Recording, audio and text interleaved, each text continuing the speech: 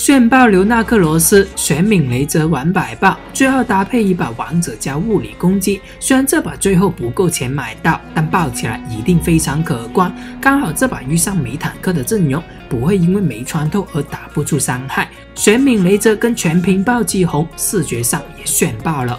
开场自红蓝，然后反红，拿着两个 buff 领先对方单 buff，正面刚起来也不会怂，被击杀之前能逃走，反正抢修抢到了，不死就是大赚。那大大赚是怎么的一个概念呢？挑起悟空用大招连环控，buff 拿走，击杀也带走，还不够赚吗？继续继续，挑飞横扫加一刀，毁灭中野加个红。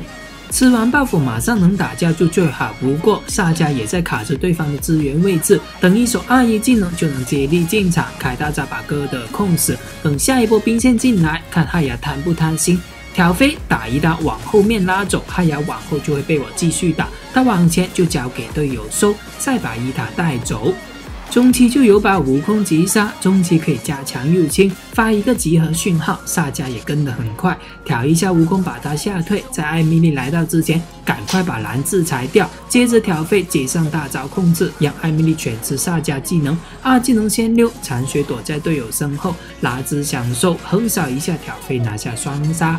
社府也从上路来到下，圣衣阁血就此地不宜久留，正面先交给队友秀，我们先找小兵吸点血，再看能不能重新进场。敌方三人都残，再次进场瞬间爆炸，打出一波伪团灭。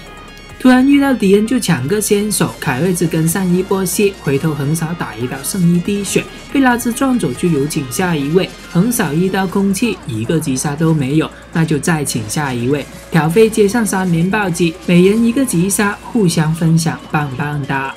战场中最重要的四样东西，一波为你全解释。魔龙中立资源增加额外经验金钱，塔与主宝加大活动范围，赢游戏的关键。野区与击杀增加自己的经验金钱，同时相对降低对方的。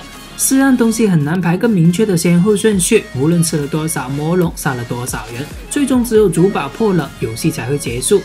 悟空这把不会有后期，在他把脚伸进后期时，我们把他重新拉出来，横扫被瞬移拉开扫空，挑飞暴击差了一滴，躲过拉兹的升龙拳，在塔与塔的中间暴击一千又一千，贴墙二技能过，横扫打暴击，大招霸体阻止他回家里，二一技能好了，挑飞就是一刀。艾米丽是个单挑鬼才，跟他打要用位移拉扯，可是我位移在 CD。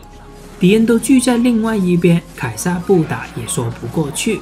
百爆已经达成，击杀数相差一倍，悟空不得已也要去分推。正面团三打三也击杀了，悟空也在下路阵亡。单挑刚不过单挑鬼才，那就别跟他刚。打完控制就交给队友，横扫空气没得偷。核算着敌人也倒下了四个，挑飞疯狂暴击，最后的王子之剑也买不出来，没办法体会到更高的暴击伤害。游戏结束，炫爆刘纳克罗斯，炫算是有炫成功了。不过遇上坦克或半坦阵容，应该就不是炫爆，而是训爆。炫爆刘纳克罗斯装备为守恒之剑、圣骑士战靴、圣剑、炎怒之爪、嗜血弓、飓风双刀、鞋子换复活甲、王子之剑。奥为暴怒夺碎龙爪，魔为强恢复赏金链，周而复始影刃鬼爪。听说点赞留言，排位十三年，愉快的踏进新一年。我是摇了摇头，我们下次再见，拜拜。